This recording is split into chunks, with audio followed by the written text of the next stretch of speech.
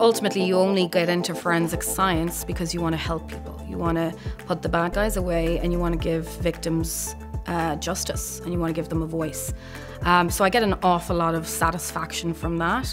From an academic standpoint, I get an awful lot of satisfaction from knowing that I'm sending my students out well prepared and well trained to do a good job. I sometimes think of my friends that do jobs and have uh, jobs that are really just for paying the bills. You know, they're not dedicated to them, they're not passionate about them.